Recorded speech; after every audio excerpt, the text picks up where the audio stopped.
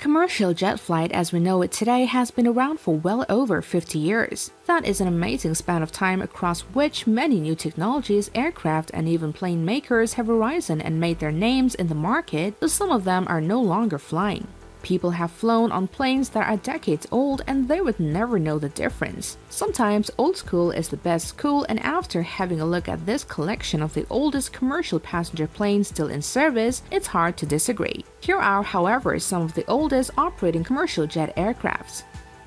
Number 10 is Airbus A300B4 of Mahan Airlines. Mahan Air is a privately owned Iranian airline based in Tehran, Iran. It operates domestic scheduled services and international flights in the Far East, Middle East, Central Asia, and Europe. After nearly a decade, Mahan Air is flying the 747-400 again. She was stored at IKA until recently when Mahan Air decided to bring her back to the flight line. She, she has undergone a thorough check and new livery has been applied and she is now the sole airworthy 400 in Iran. She is more than 33 years old. Number 9 is de Havilland, Canada. Air Inuit has its headquarters in Quebec, Canada. It does domestic, charter, and cargo services in various areas. The airline has been operating since 1978 after acquiring a single de Havilland Canada DHC-2 Beaver. Soon after, the company also purchased a DHC-3, a couple of twin otters, and a single otter. By 1988, the company acquired de Havilland Canada DHC-8100, which is more affectionately known as the Dash 8.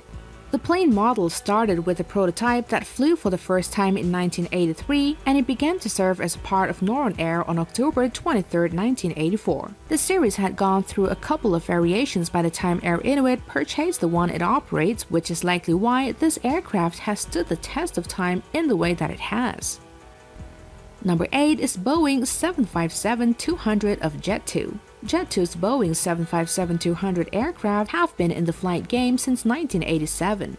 It wasn't always a part of the Jet2 lineup as it was previously owned and operated by China's Civil Aviation Administration followed by China's Southern Airlines. Jet2 obtained the aircraft in 2006. It is almost unreal how pristine the plane still looks, but Jet2's seasonal operational style may have something to do with it. While the plane is not the oldest commercial flight of them all, it does have the honor of being the oldest registered in the UK. Jet2 operates a low-cost commercial airline in the United Kingdom, which offers scheduled and charter flights. It stands as the third largest airline in the country, only losing out to EasyJet and British Airways. Number 7 is Boeing 757-200 of Delta Airlines. Though Delta Airlines obtained it in 1987, it will be almost impossible for you to tell its age when you stand it. Even Delta Airlines' internal pool would throw you out as a loop as it currently holds the honor of having the largest fleet of 757 aircraft in the world.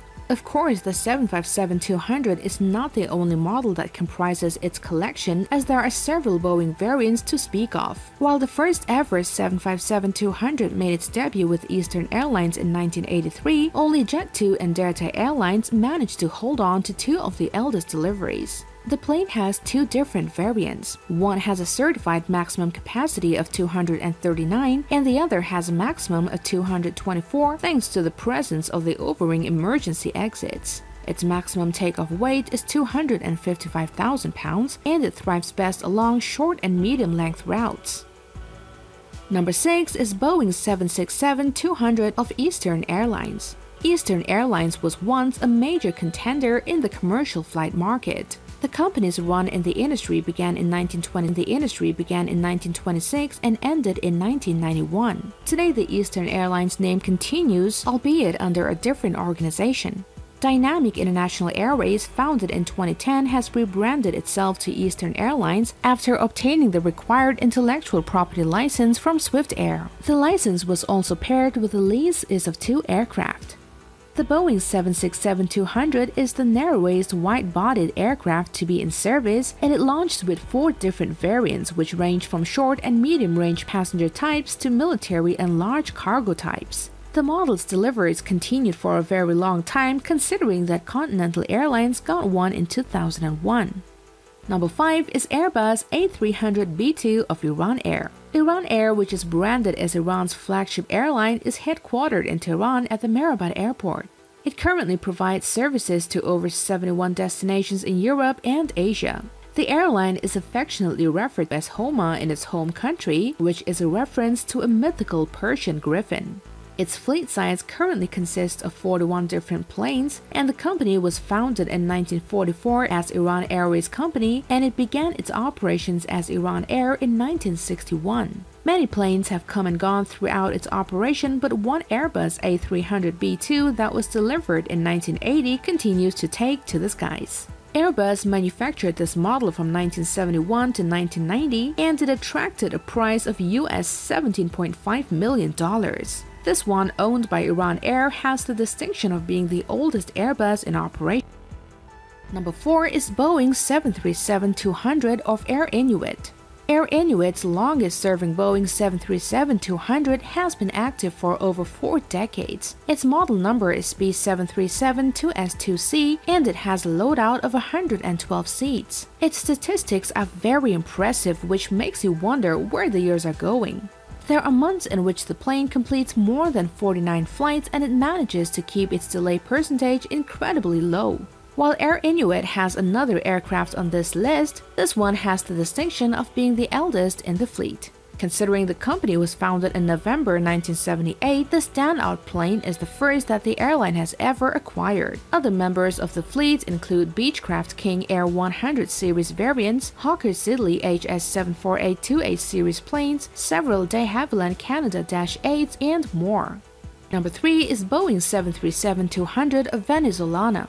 Venezolana Airlines has also a Boeing 737-200 that has been serving for a very long time. Its registration is YV502T and it has been with the company since 1978. It even survived a tragedy in May 2019. This was a flight from Port of Spain, Trinidad and Tobago to Caracas, Venezuela. As the aircraft was ascending, the left engine failed and the crew heard a loud bang.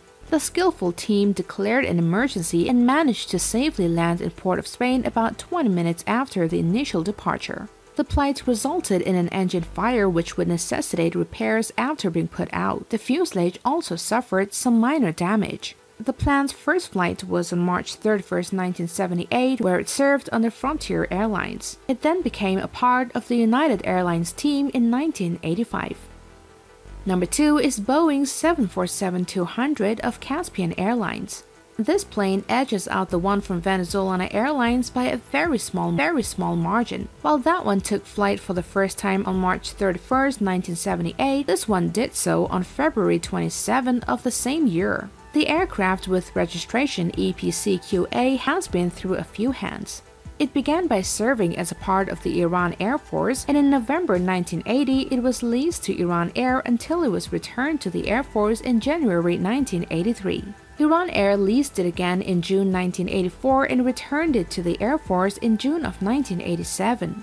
Iran Air would lease it one final time in August 1990 before Saha Airline acquired it in July 1996. Saha Air stored the plane in 2008 before passing it on to its current owner, Caspian Airlines, in November 2018. With all that movement, it's most surprising that the plane performs as well as it does today.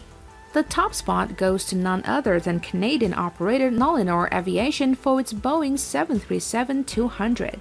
Its current registration is GGNLK and the company had it delivered in 2014. However, it was manufactured in 1974 and throughout 1975 and onwards, it has had 12 different owners. The first of these was Transavia. People often wonder why airline operators choose to have such aged units in their fleet, especially since they are often delivered very late in their life cycle. Nolinor Aviation explained that the 737-200 could handle more difficult conditions than other planes can. For example, the first 737 generation can land on a narrow runway, ice strip, or gravel strip. Contrary to most newer planes, the 737-200 is equipped with a low bypass turbofan engine. Boeing 737-200 of Nolinor Aviation is the oldest active airplane with almost 50 years of service. And that, guys, was the list of the oldest operating commercial jet aircrafts. With this, we're signing off for today. Bye bye.